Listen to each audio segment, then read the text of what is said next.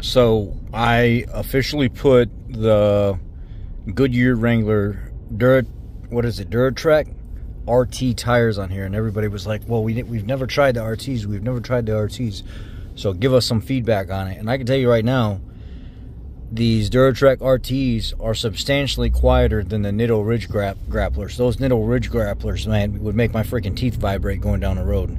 They're an aggressive, really nice looking tire, and they they perform well, but there was nothing kind about them when it came to noise. Um, these Duratrac RTs, they ride good. They're not as wide. I went back to a standard uh, 275-55 R20 that came on a like a Platinum F-150 from 2020.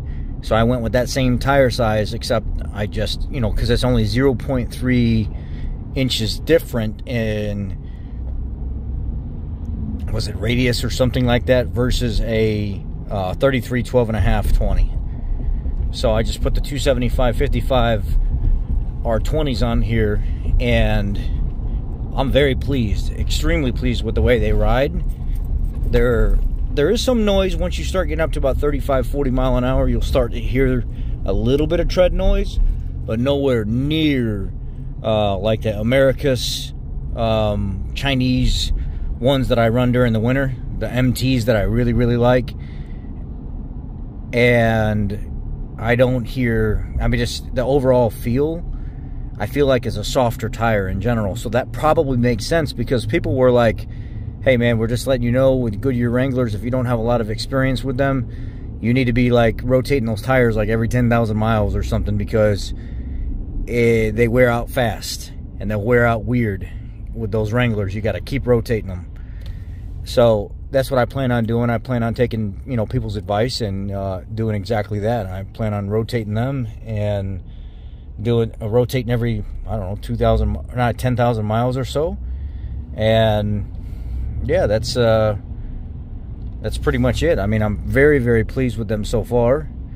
And I enjoy looking at them, you know, versus the, the Nitto Ridge grapplers. The Nitto Ridge grapplers were nice but it looks like the 275-55 um, Duratrac RTs have a little bit more sidewall, like it's a little fatter sidewall to it, which I kind of like. I don't like the lower profile.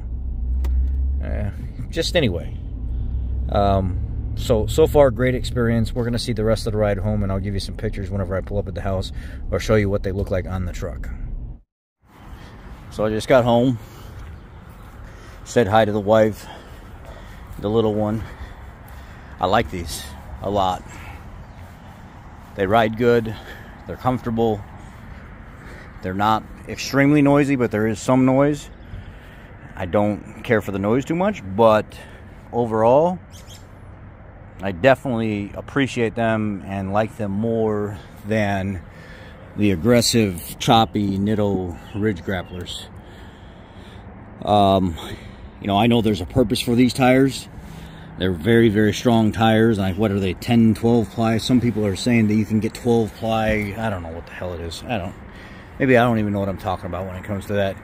But these Wrangler, Goodyear Wrangler Duratrac RTs, I just absolutely love these. And they look great on the truck.